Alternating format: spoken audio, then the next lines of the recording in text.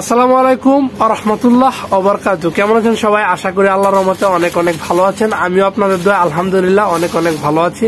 তো আজ আমি যে বিষয়টা নিয়ে কথা বলব, যেহেতু রমাদান মাস সামনে, তো আসলে সবার পরিবারের পুরুষ, মহিলা আসলে সবাই একটু শপিং এর জন্য প্রিপারেশন আছে।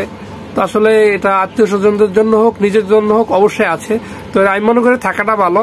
তো যাদের সম্ভব যাদের সম্ভব অনেকে হয়তোবা যারা প্রবাসী আছে, তাদের পরিবারে হয়তোবা বাইরে থেকে টাকা আসার জন্য অপেক্ষা করে। তো যতটুকু সম্ভব রমাদানের আগেই শপিংটা করে ফেলেন।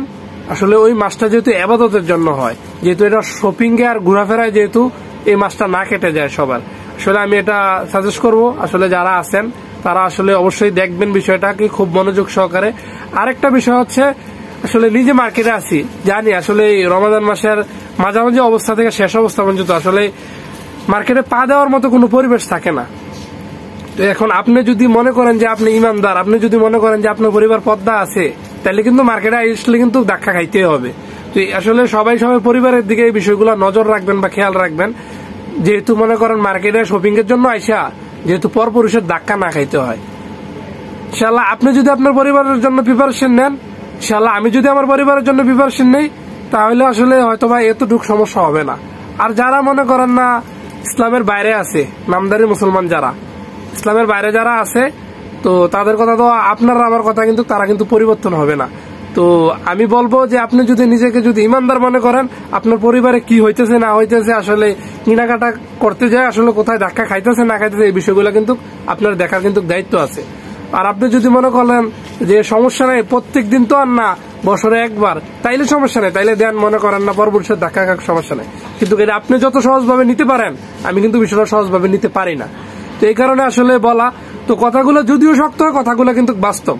কথাগুলো যদিও একটু শক্ত হয়ে যায়, কিন্তু কথাগুলো কিন্তু বাস্তব। তেমন মনে করেন না, আমি তো আমার পরিবার সম্বন্ধে কঠোর। যে যদি কোনো কিছু কেনাকাটা লাগে এটার জন্য আমার পরিবারের জন্য আমি আছি। কিন্তু মহিলারা রোজার মাস মার্কেটে আসবে, কিছু কিনবে, এটা আসলে আমি অন্তত মাইনা নিতে পারি না। ঠিক আছে? তো মহিলারা আসবে, আপনারা বলবেন যে পর্দা কইরা আসবে, সমস্যা কি? ঠিক আছে, পর্দা করে আসবে, সমস্যা নাই, কিন্তু অন্য সময়। কিন্তু রমাদান মাসে যে মার্কেটের যে অবস্থা, আসলে আপনারা হয়তো আমার থেকে ভালো জানেন। আর আমি যেহেতু মার্কেটে আছি, তো আমি তো বুঝতেই পারি যে আসলে মার্কেটের পরিবেশটা কি বা কেমন।